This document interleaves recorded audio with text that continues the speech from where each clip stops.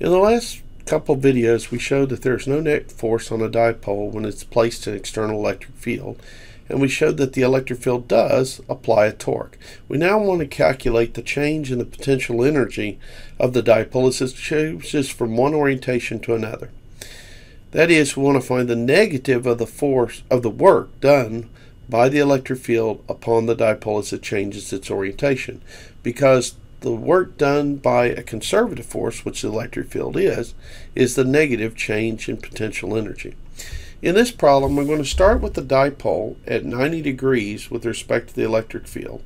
This is to make the math and the formula just a little bit easier. Remember, change is all that we really have for an electric in for calculating the potential energy, but I can choose any reference point of zero potential energy I want, and I'm going to choose it to be when the dipole is 90 degrees with respect to the electric field to make the formula look a little easier.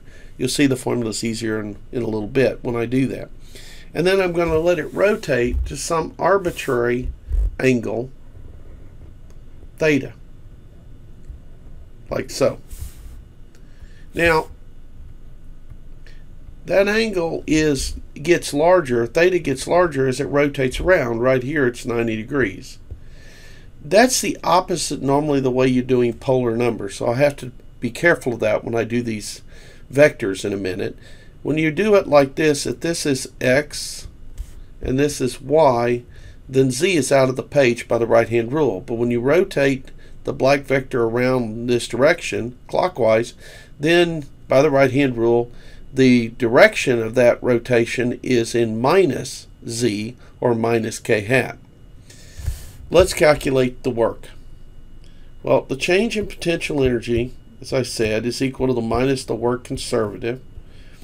And that's equal to minus the integral from the initial to the final orientation of the torque applied to the dipole dotted into its displacement change, which is equal to minus the integral from initial to final of the dipole crossed with the electric field dotted into d theta vector. Now we need to actually use our coordinate system to calculate the direction of these vectors for us so that we can calculate this integral. So delta u is going to be minus. I am integrating this from an orientation of pi over 2 when it's perpendicular to to the electric field to when the dipole's at the arbitrary angle theta. The magnitude of P cross E is P E sine theta. And by the right hand rule, when you cross P into E, your thumb points out of the page, which is in the K hat direction. This is dotted into d theta, which as I said a minute ago is pointed in the minus k hat direction because it's going clockwise, not counterclockwise.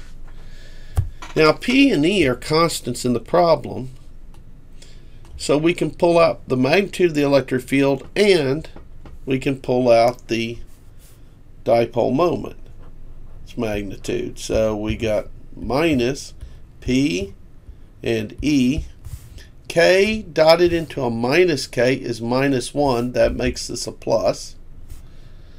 And then we have the integral of pi over 2 to theta sine theta d theta. Well, the integral sine theta d theta is negative cosine theta. So we got minus p e cosine theta evaluated from pi over 2 to theta. So the change in our potential energy, which is our potential energy at theta minus our potential energy when we're at pi over 2, is equal to minus the potential in, I'm sorry, minus the dipole moment times the electric field times the cosine of theta Minus a minus makes a plus, the dipole moment times the electric field times the cosine of pi over 2. Well, we know that the cosine of pi over 2 is 0.